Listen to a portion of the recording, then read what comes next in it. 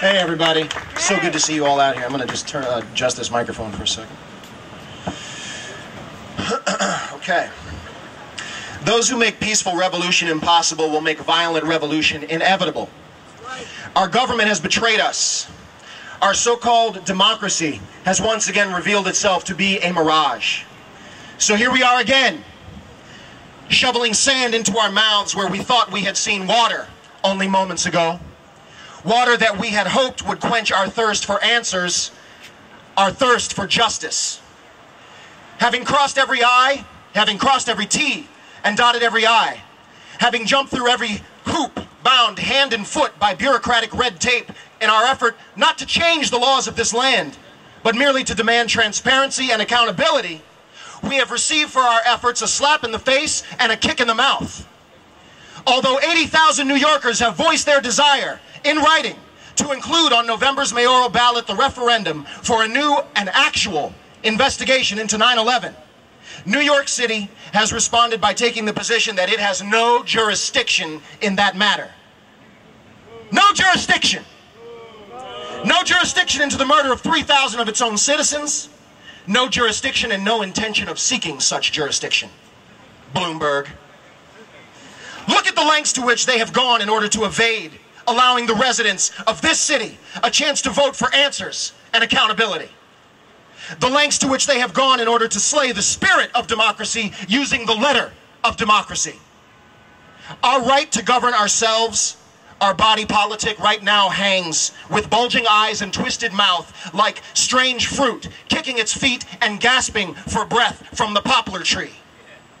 While they send us off to kill and be killed in the name of freedom and democracy, and their unending war of terror, while they send citizens of this country into foreign lands to advance a shamelessly transparent geostrategic agenda, blasphemously cloaked and justified by the memory of 9-11 and the names of its victims, wars based upon lies that would not and could not exist had it not been for the new Pearl Harbor of September 11, 2001.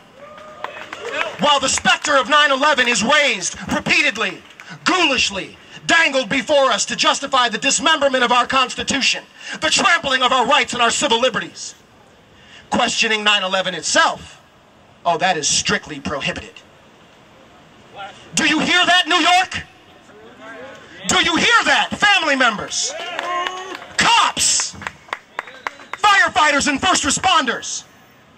Your government has just told you, again, again, that you were good enough to die for them but that asking questions about the inciting event is un-American, un un unpatriotic, and quite simply just out of bounds. Traitors. The morally treasonous treatment of this subject matter by our supposedly free press is something that we should be ashamed of and that we should demand a change in.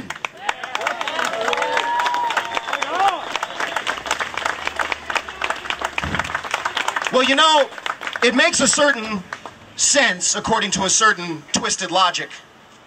Because if the people's referendum were to make it into the, to the November's mayoral ballot, then the jig would indeed be up.